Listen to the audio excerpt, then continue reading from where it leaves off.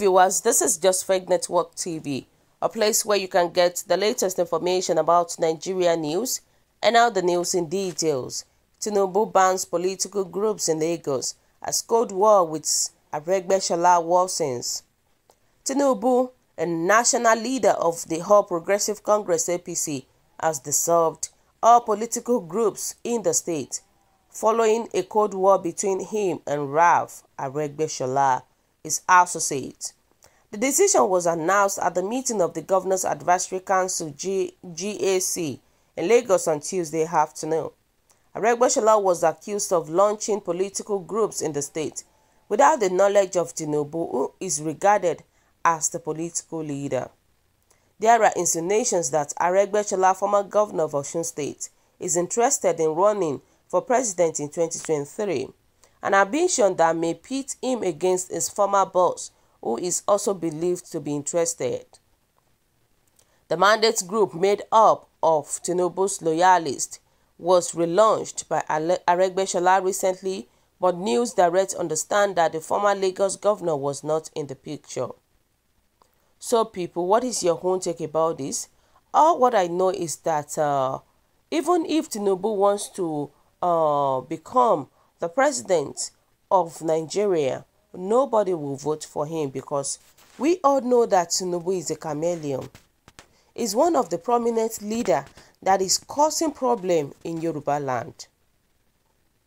I'm telling you.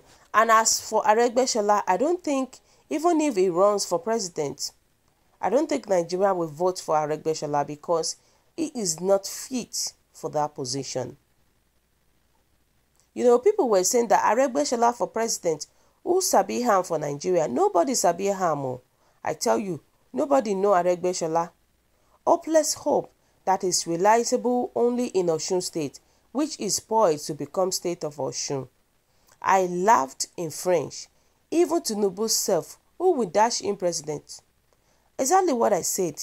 We shall wait and see till 2023 when the bubbles will burst.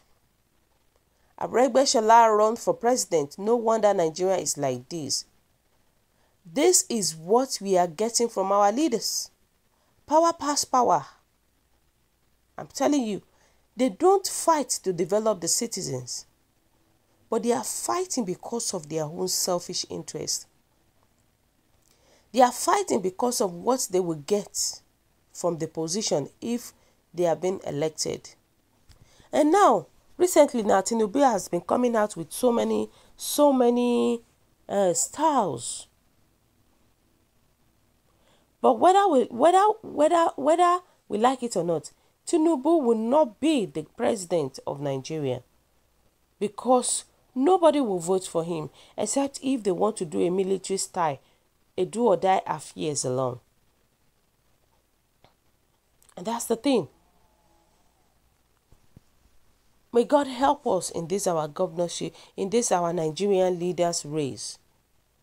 You know, people were saying that please Nigeria let all the leaders of government, House of Reps, Senate, leaders APC Chairman Adams, Oshiomhole, and APC leaders Tinubu prove to all Nigerians that yes, there is someone called President Buhari if he is still alive on June 12 nobody will come out and start revealing their what they have been keeping years back. Because of course they would have told them that if you say it there is always a repercussion for it. So but so nobody is ready to come out and say the truth about president muhammadu buhari. That's the thing. But the problem is that it seems nigeria is another planet inside planet Earth. Nigeria and human animal devil leaders and Regbe Shola and Tinubu, they are not even qualified as becoming the president of Nigeria. They are not. The only thing that I'm thinking is that maybe they just want to hear people's opinion about their intention because Phaetons are not allowed to rule. I'm telling you, they are not. Instead, they should let the cow continue. At least we are drinking small, small milk, but getting attacked by our, by our cow horns. But the thing is that we cannot manage snake oh, because Tinubu, Aregbesola, they are just like a snake. So nobody will allow such to happen. And even the one that we have now, the, our present administration, we are waiting for the administration to end. People are living in suffering. People are dying in suffering. We don't want this anymore.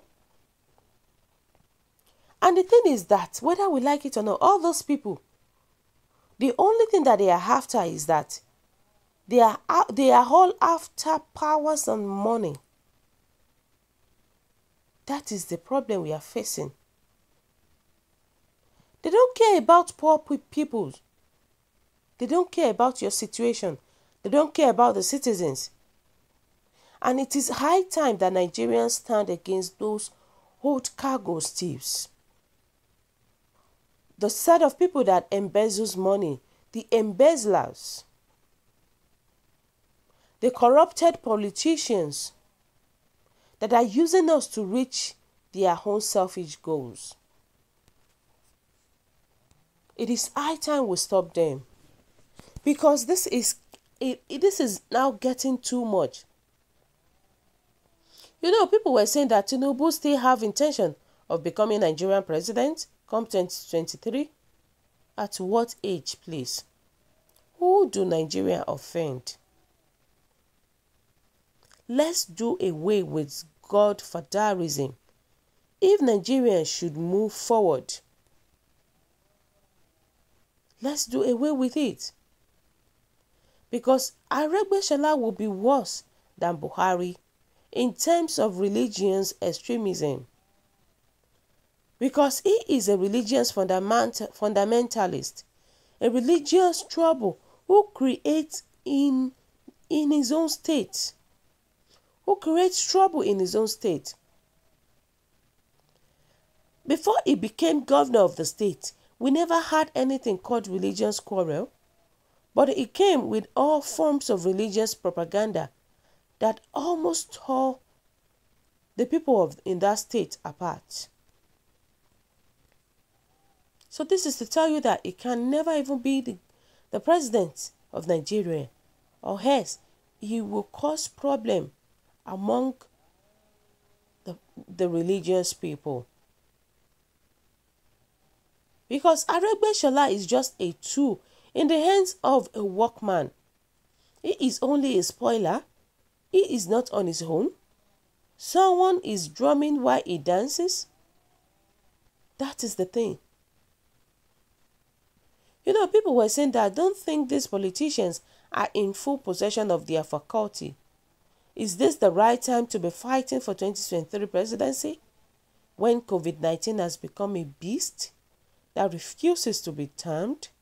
Our economy in a sorry, is in a sorry mess, sorry state. Just to mention a few local and global burning issues that need urgent attention. So viewers, what is your own take?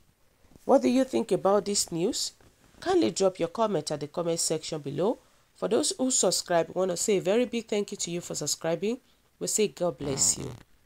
And if you're yet to subscribe, Please kindly press the subscription button below and don't forget to press the notification button so that whenever we upload news, you will be the first person to watch our latest news. Thank you so much. Have a wonderful day.